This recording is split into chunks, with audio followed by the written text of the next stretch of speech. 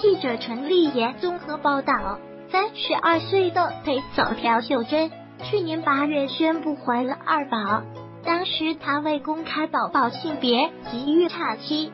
昨天有韩媒爆料，她腹中怀的是名女娃，预产期在十日。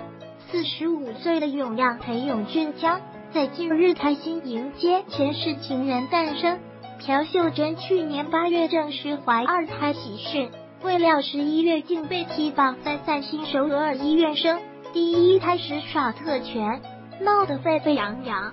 昨夫妻俩同属的 K E Y E A S T 虽证实预产期是在四月中，但表示小孩性别属于个人隐私，不便回应。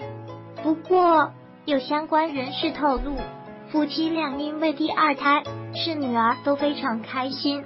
两人结婚三年，育已有一岁儿子福娃，恰好凑成个好字。